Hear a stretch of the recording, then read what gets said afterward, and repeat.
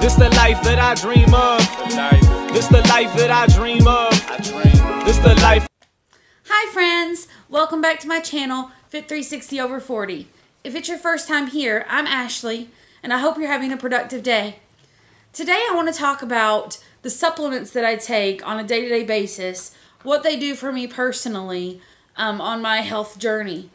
I do want to start this out with a disclaimer that I am not an expert. I'm not trained in any of this. These are just things that through my research and my husband's research, we have come to find work for us individually.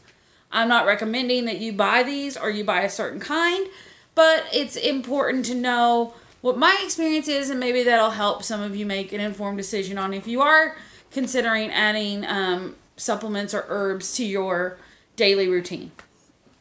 So, with that said, let's go ahead and get started. So, the first thing I take is I take an iron pill, and I take this about every two to three days.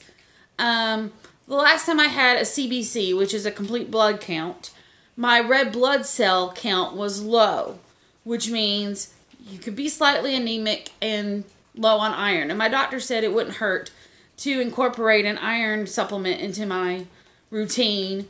Um, but because I'm not actually anemic and it's not actually too low, I only do this every two to three days. The next thing I take um, is I take curcumin or curcumin. I've heard it said both ways. So curcumin is a curcuminoid. It's part of the turmeric root. And there are some really interesting um, health benefits that can be garnished from taking this supplement. So I did take some notes, and I, am going to tell you a, a, little bit about uh, curcumin. So it's the main active ingredient in turmeric. It is a power, powerful anti-inflammatory and a strong antioxidant. I will tell you that from my own personal experience, I have noticed a, a big difference in how my joints feel since I started taking the curcumin. So, um, being a bigger size, my knees can tend to hurt, um, especially after workouts or a lot of walking around. And I have no knee pain since I started taking the curcumin. Um, I take two of these at night, every night. So, turmeric contains bioactive compounds with powerful medicinal properties it's a natural anti inflammatory compound, which is what I take it for. I've had the most um, benefit from my um, the anti-inflammatory properties. It also can dramatically increase the antioxidant capacity of the body. It boasts brain-derived neuro, neurotrophic factor linked to improved brain function and lower risk of brain diseases and it can slow your risk of heart disease for those other reasons. Again, the main reason I take it is for um, the anti inflammatory results I see in my joints. The next thing I take, and I take this one pill a day at night, and it is called ashwagandha. So, ashwagandha is the small shrub with flowers. It's native to India and North Africa. Extracts or powder from the plant's roots or leaves are used for a variety of conditions. What I've noticed the most from this is it really helps with my stress levels. That's one of the things that it it can help with if you incorporate it. It really helps me feel less stress. Um, but it also has a little bit of cortisol lowering um, properties to it, and it can help you sleep a little bit better. So that's why I take that particular one at night. So it can reduce your blood sugar levels, it can reduce cortisol levels, it may reduce stress and anxiety, it may reduce symptoms of depression, and it may reduce inflammation. So it has a host of reasons that I take it personally um, because I have had issues with stress and anxiety, and this seems to help manage that a little bit better without having to add in any harmful chemicals. The next thing I take is also for stress and anxiety.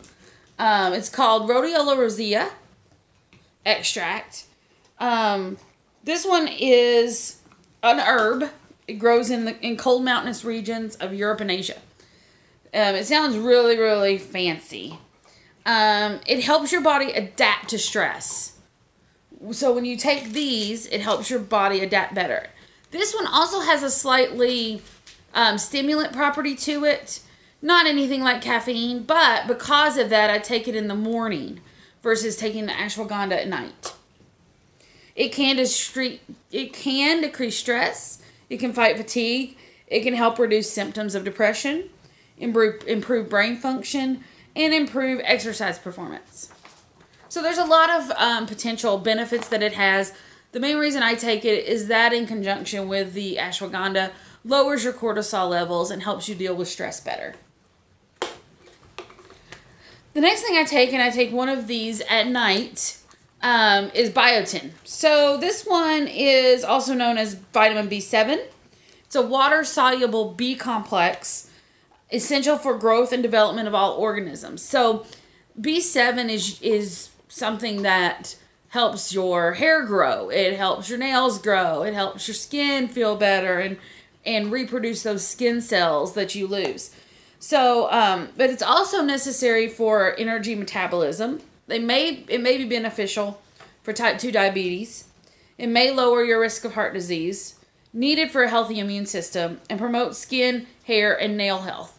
I take it because I read that it is good for your hair, skin, and nails. So it really comes down to that's why I take it. Um, as we get older and our hair ages, it's a little bit more difficult to keep it looking shiny and fresh and young. And one of the supplements that's recommended for that is biotin. So that's why I started taking it. And then as I was doing research, I learned it may have other health benefits besides just healthy hair, skin, and nails. So I was pretty excited to learn that.